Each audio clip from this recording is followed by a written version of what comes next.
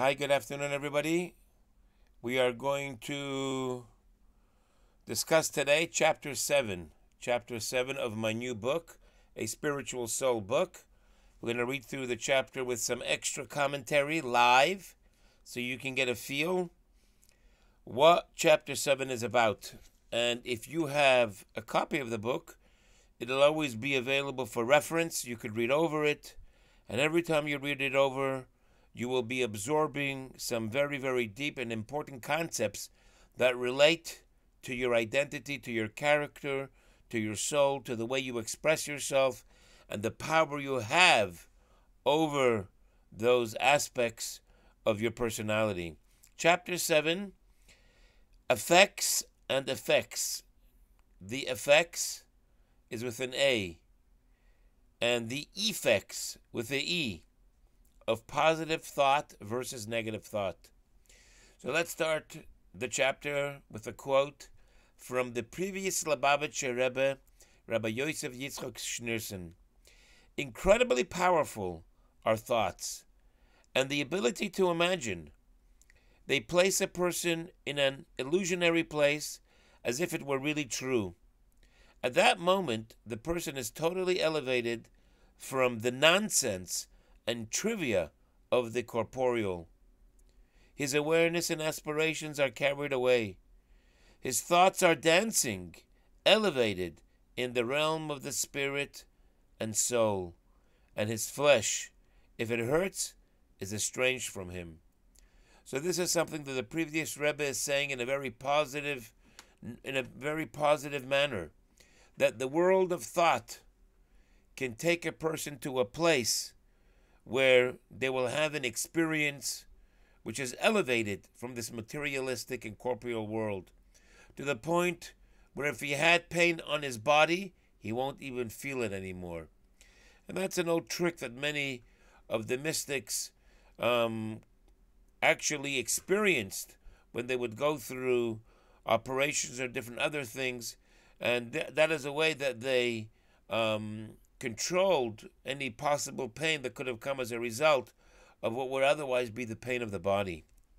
The Baal Shem Tov, the holy Baal Shem Tov said, where a person's thoughts are, that is where the person is. And this is not something, of course, that the Baal Shem Tov made up. The Baal Shem Tov didn't come to make up a new Torah, but he came, like all the other great teachers of the Jewish people, to relay and to bring to our attention the eternal and very deep principles that are in God's wisdom, the Torah. And we see this, for example, in the rules of Eruv, Eruv Tchumin, certain practice that the rabbis instituted. And in that practice, a person he places uh, a certain amount of food for two meals at a certain location and that location becomes the permanent resident residence of the person for the duration of the Shabbat, which has a lot of um, extenuating circumstances that relate to law. The bottom line is that because the person intended to make the place where he puts his meals his primary residence, we measure everything that is related to a person's primary residence from that place that the person put the meals before the Shabbat. And even if on Friday night he's in his regular house, but he can, for example, travel the distance as measured from those two meals because that's where he intended to make his permanent resident for the duration of the Shabbat. Whatever the case, without getting too complicated into technicalities, the Baal Shem Tov brought to our attention something which is a very simple law, and that is we see in Jewish law that where a person's thoughts are, that's where it is considered to be his actually identity. He's actually there in his identity. The Zohar says the great work of Rabbi Shimon Bar Yochai that gives us a little glimpse into mysticism, into the deeper spiritual dimensions of godliness. Adam ihu machshava. A person, you know what a person really is? It's not his physical flesh. A person, he is his thoughts. What is a man and where is he? It, he is in his thoughts. Through thoughts, the soul of a person, his feelings, and his life are drawn and expressed. Strength and weakness in a person's life are all from his thoughts. Incredibly powerful is what we feed our thoughts, our thinking process. Thoughts is like a funnel. Just as through a funnel, water is given shape and it is directed to certain destinations, the water is the substance. Your soul and who you are, that's the real meat. That's the real I. But it's so intrinsically and inherently attached with thought that it has to express itself through the funnel of, of thought. Thought is what gives shape and directs the identity of a person. It is through the garment and funnel of thought that the soul streams and is revealed. When a person's thoughts adopt a certain shape and direction, of course, your thoughts don't have any physical direction or any physical shape, but we're just borrowing a an idea, a metaphor from a physical vessel that gives shape to whatever you put in it. The same is also with thought. Thought is like a vessel. Depending on the type of vessel you bring to the table, to your mind, that is what's going to determine the type of experience, the type uh, of life experience you are going to have. Thoughts that emphasize optimism and happiness will bring the soul to those places, to the places of optimism and happiness. The soul is a spark of God, and it has the potential for infinity. It's up to your choices to decide where to take the infinite experience of the soul. So if you insert positive thought and thoughts of optimism, then that's exactly where you're going to channel and direct the feeling and your life, your actual life, is going to be one that's going to have optimism and strength and happiness in it. Thoughts of the opposite nature force the soul and all the aspects of a person to acquiesce to that negative pattern. As we know, when a person has negative thoughts of anxiety, you bring stress, you can actually get a physical stroke, get a heart attack, a panic attack, worse things.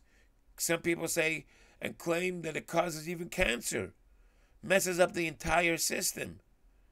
That's how powerful thought is on a person's actual life force that it'll have that type of a very, very powerful impact. As we explained previously, the influence of thought on the soul is even greater than speech and action.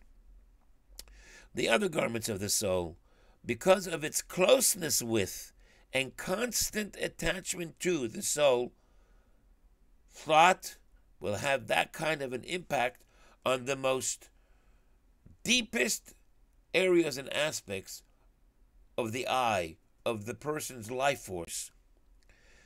And therefore, when a person immerses himself into godly words, godly inspiration, for example, when a person is reading the book of Psalms from King David.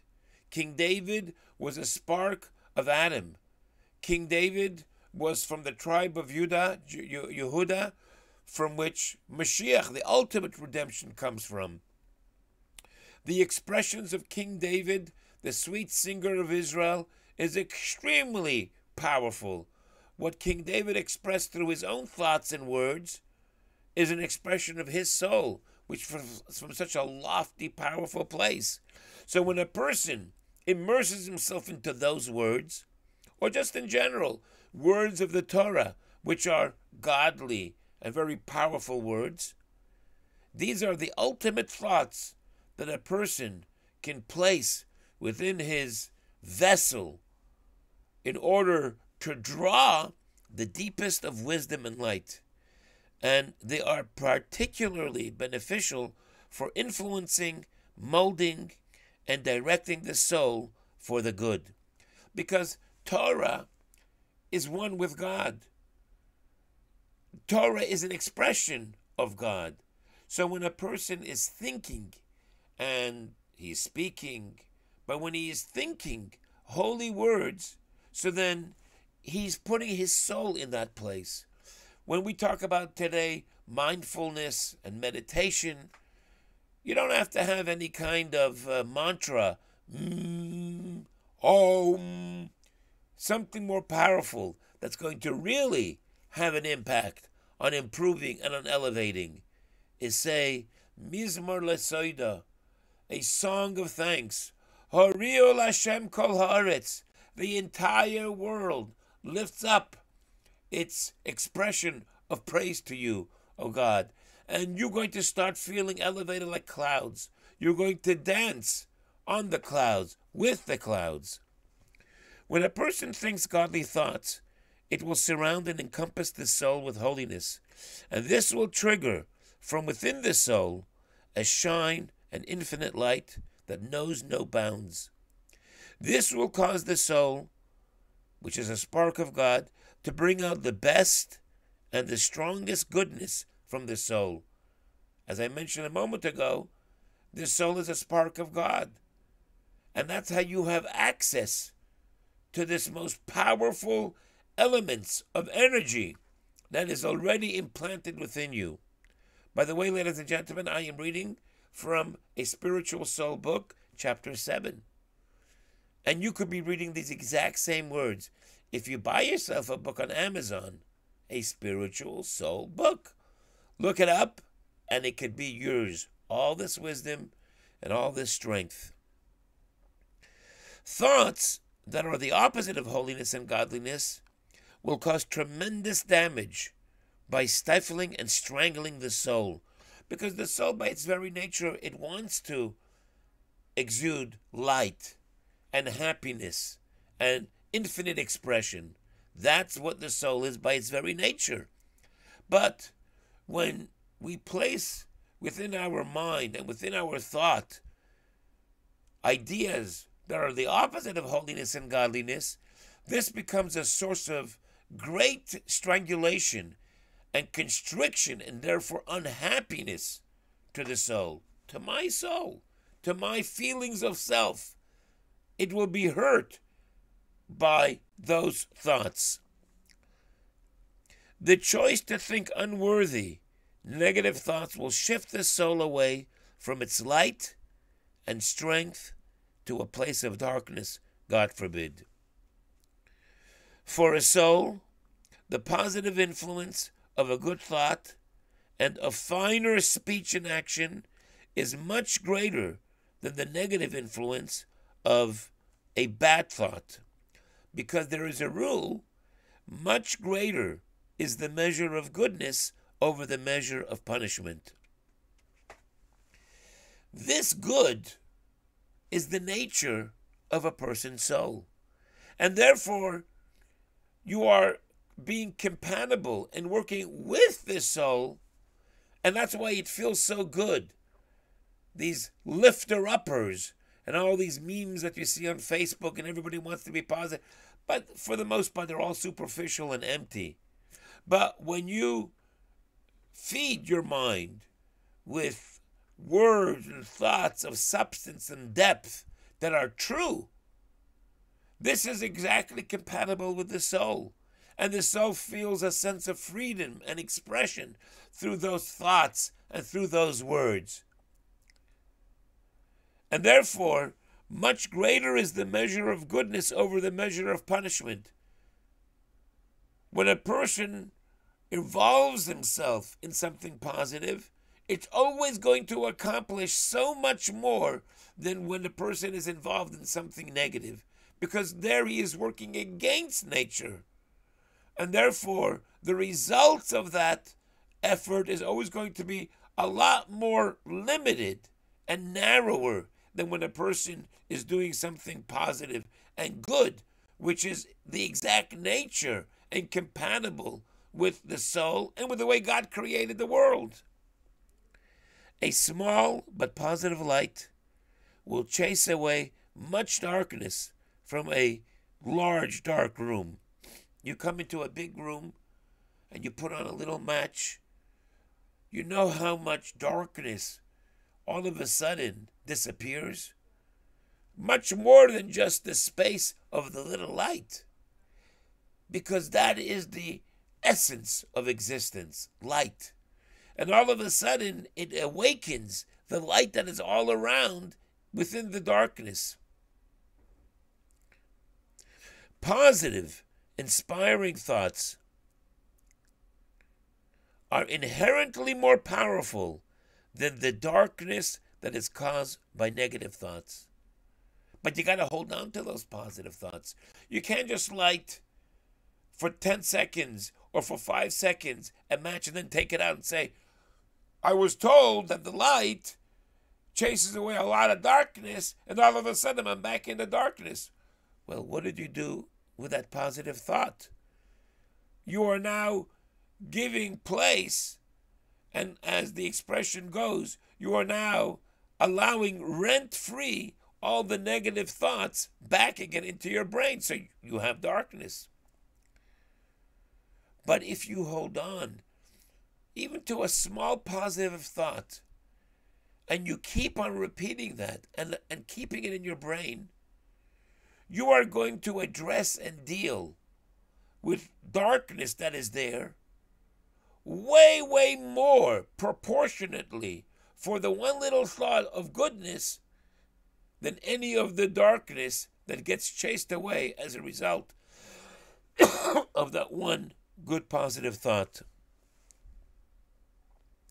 The more we accustom and train ourselves to think positive thoughts, the more we train our soul to flow in a positive direction and cleanse our soul of the negative effects that the bad garments have had on our soul.